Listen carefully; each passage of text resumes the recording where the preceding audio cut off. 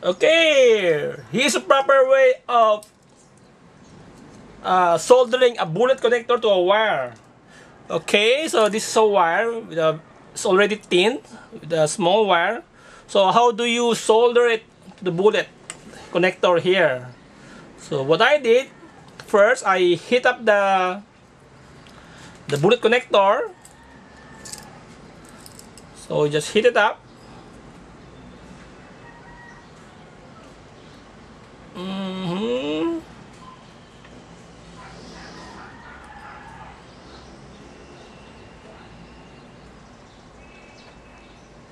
Okay, now you can see the liquid forming.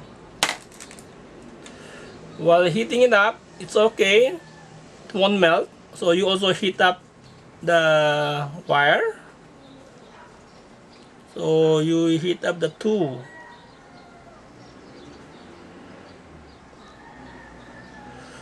Once the both wire is uh, hot, then you submerge it.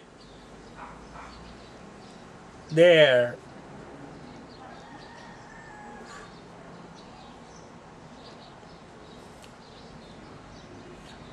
See? Very clean. No cold solder this is how I did uh, with uh, this bullet connector linis di ba okay so this is uh, how it look like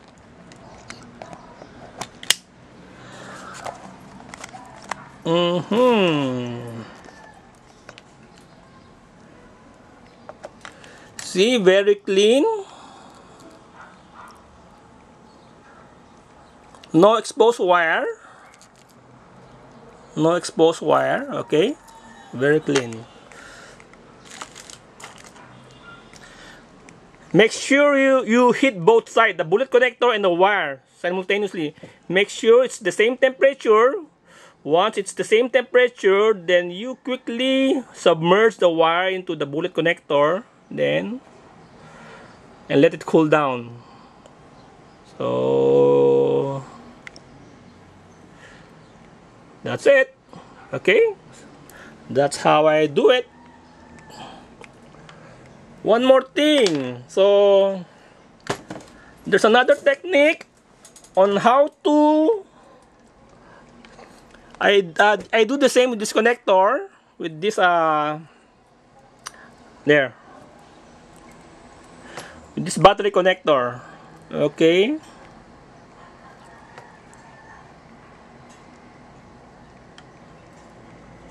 So how do you solder this battery connector okay here's the technique uh, where's the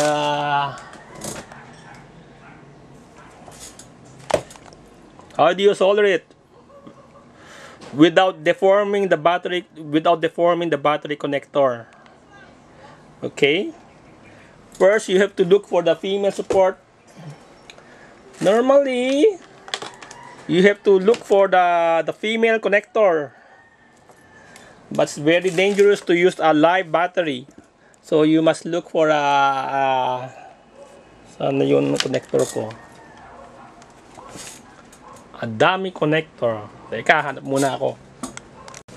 Okay, how to how to solder a battery connector. Okay? First, you don't you don't solder it right away. You have to look for a a dummy connector. I have up here an old uh, charger. Okay, so that's the one. So make sure I insert it here. Just to make sure the okay I insert it here. Okay. Okay.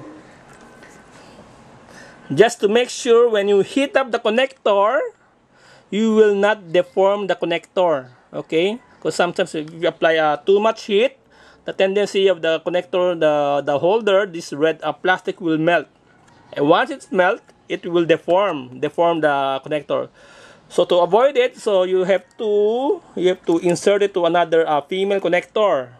Then you do the same procedure.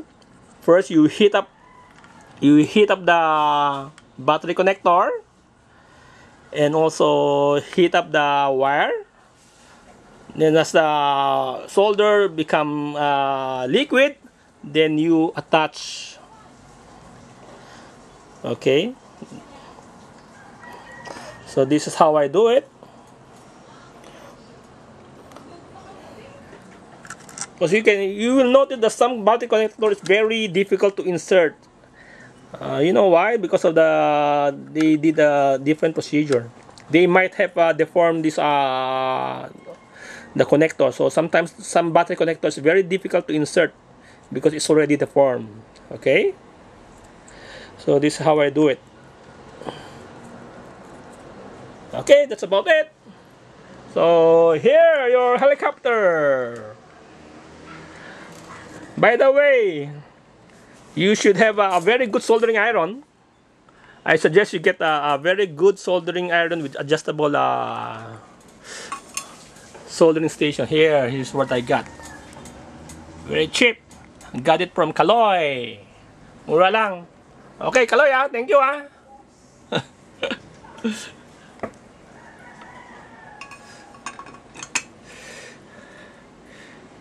Okay. Ready for test flight? Maybe maybe this Saturday. Okay Galing, oh, very neat. In the old days, you have to uh, install the gyro due to the very large uh, receiver. Large receiver, you have to install the gyro here. Sometimes other people, they put gyro here. Looks so ugly. Now, everything can be fit inside the helicopter. A gyro, small receiver. That's the receiver. Okay.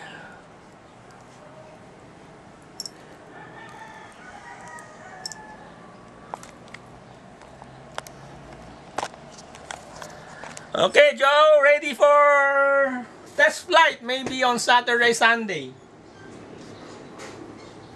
Bye.